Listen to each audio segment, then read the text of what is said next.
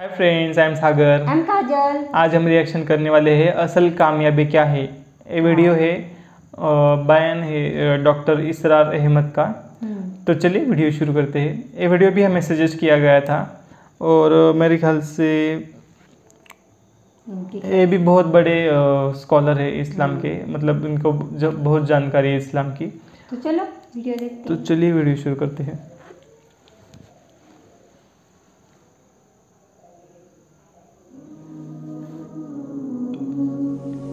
हमारे जहनों में जो मैारात बैठे हुए हैं, वो क्या है?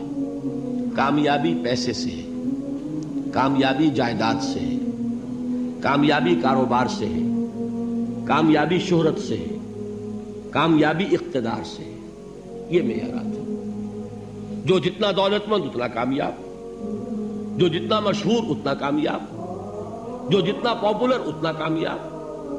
जो हुकूमत पर पहुँच गया, कामयाब। जिसने बड़ा कारोबार जमा लिया, कामयाब। जिसने बहुत जायदाद बना ली, कामयाब। यही है असल में सारी विष की गांठ। जो तस्वुर कामयाबी का होगा, उसी के मुताबिक आपकी भाग दौड़ होगी। उसी के लिए जिद्दोजहद होगी। उसी के लिए तवानाइयाँ सर्फ होंगी।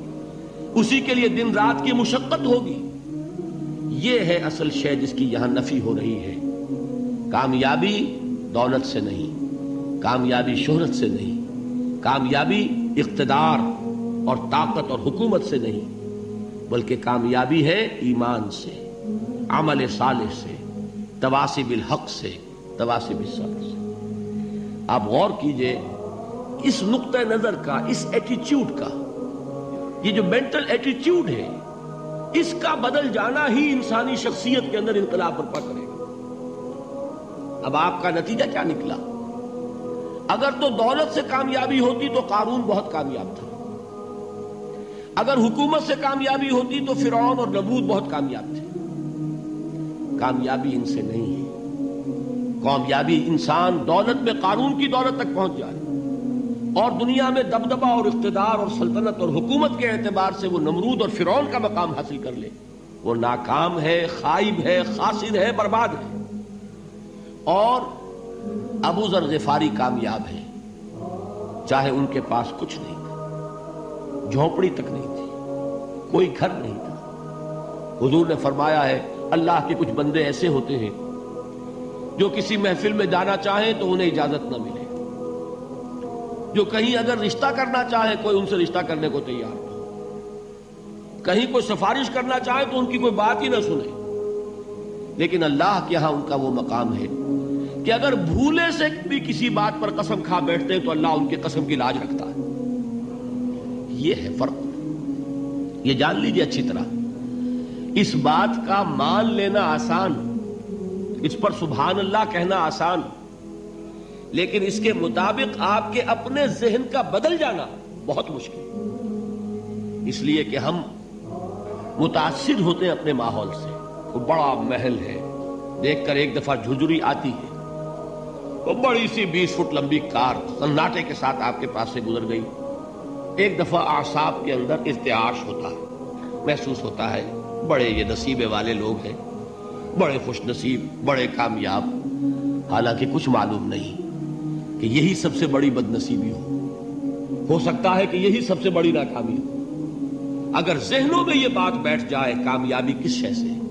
यही वजह देखिए कुरान मजीद में बारहा आप देखिए। उलाए कहमुल ये है लोग कामयाब होने वाले। आज ही आपने नमाज़ में वो आयात सुनी।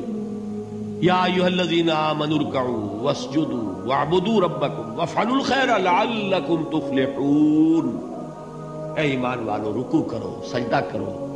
अपने रब की परस्तिश और बंदगी करो। और अच्छे काम करो ताकि तुम कामयाब हो जाओ। तो कामयाबी किन चीज़ों से है? यह है सबसे बड़ा सबक।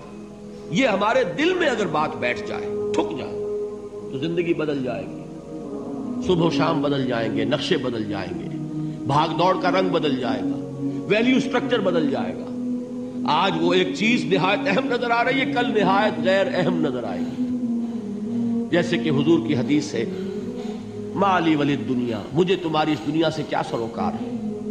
इन मसली करा के बिन तहत कहा मेरी मिसाल तो उस सवार की सी है, जो थोड़ी देर के लिए एक दरख्त के साय में ठहरता है सस्ताने के लिए। फिर वो अपना रास्ता लेता है, उसे उस दरख्त से मुस्तकिल ताल्लुक उसका नहीं है। वो उसका घर नहीं, वो उसकी मंजिल नहीं। इसी तरह ये दुनिया मेरा घर नहीं है। अब देखिए, हम कहते हैं, इन्ना लिल्लाह व इन्ना राजिऊन। हम तो मुसाफिर हैं। हम अल्लाह के पास से आए, अल्लाह की तरफ़ हमें लौट जाना है।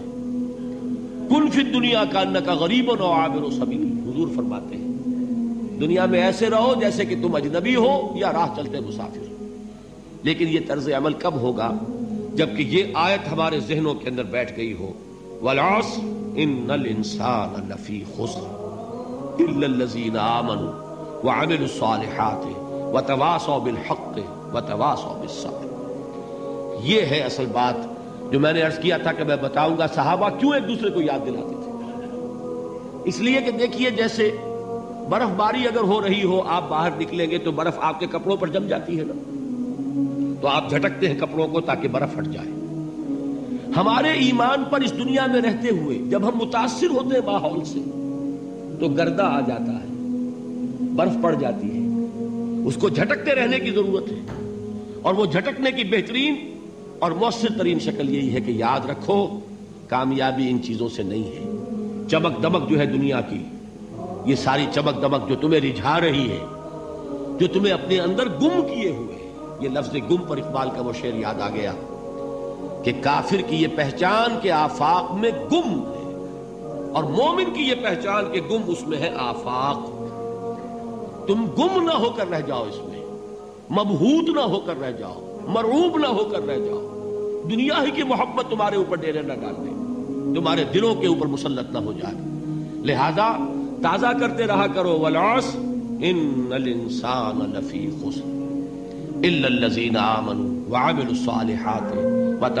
बिल बिस फिर याद कर लो, फिर ताज़ा कर लो। अपने इस यकीन को कि कामयाबी दौलत से नहीं, कामयाबी सरवत से नहीं, कामयाबी इकतदार से नहीं। कामयाबी शोहरत से नहीं कामयाबी जायदाद से नहीं कामयाबी है ईमान से कामयाबी है अमल साले से कामयाबी है तवासी बिल हक से कामयाबी है तवासी बिल सब्र से। ये चार चीज़ें हैं कि जो कामयाबी के लवाज बहुत अच्छा वीडियो था। वीडियो बहुत अच्छा था पर कुछ कुछ वर्ड्स बहुत ही डिफ़िकल्ट थे। हमें समझ नहीं आई हाँ। शायद आपके हाँ आपको जो समझ में आ रहा था कुछ कुछ हमें नहीं समझ में आ रहा था पर अ, पर मुझे जितना हम तो समझ में आया कि कामयाबी- कहने का हम्म। मतलब और ये बयान देने का मतलब आखिर क्या था ये तो मुझे समझ आया हम दोनों को भी समझ हाँ तो मेरे ख्याल से कामयाबी पैसा नहीं है हमारे स्टेट नहीं है हमारी जायदाद नहीं है हाँ। जितना हमने कमाया वो कामयाबी नहीं उसे कह सकते कामयाबी काम ईमान को कह सकते हैं कामयाबी ईमान मतलब क्या बोलते हैं उसे? अपना सच बोलने का क्या बोलते हैं? हाँ सच बोलने की हमारी जो आदत है नियत हाँ नियत को बोल सकते हैं ईमान। हाँ। तो तो इसे कामयाबी कहते हैं हम्म। अगर बहुत हमारी वजह से किसी को फ़ायदा हो किसी का अच्छा हो जाए तो इसे भी कामयाबी कह सकते हैं ना। हाँ नियत पैसा कमाओ पैसा कमाओ दूसरों को हाँ। पैसा कमाओ हाँ। इससे तो कामयाबी नहीं करप्शन करके बंगले खड़े करो। हम्म। इसे भी नहीं कह सकते कामयाबी। हाँ, कामयाबी तो- सिर्फ़ नियत नियत को कह सकते हैं हाँ, कि अच्छी अच्छा- नियत से अच्छे अच्छे काम किए। गरीबों को फ़ायदा हुआ। हम्म, जैसे कि पहले लोग करते थे रहने हम्म। के लिए घर भी नहीं होता था खाने के लिए रोटी भी नहीं होती थी। हम्म। तभी वो बहुत फिर भी वो कामयाब थे हाँ, क्योंकि उनका ईमान नियत अच्छी थी। अच्छी थी। हम्म। तो ये बहुत अच्छा वीडियो था मुझे बहुत अच्छा लगा। सिर्फ़ कुछ कुछ वर्ड्स नहीं समझ में आए हाँ, बाकी तो बहुत अच्छा वीडियो था। लेकिन उसका अर्थ क्या था? हाँ। उसका तात्पर्य असली क्या था। ये तो हमें समझ में आ गया। तो वीडियो बहुत अच्छा था। आपको तो मेरे ख्याल से अच्छा लगा ही होगा। हाँ क्योंकि आपको तो हंड्रेड परसेंट समझ में आ गया हो हाँ, वीडियो और हमारा रिएक्शन आपको कैसा लगा ये कमेंट में बताइए। हम्म। हमारे चैनल को सब्सक्राइब कीजिए।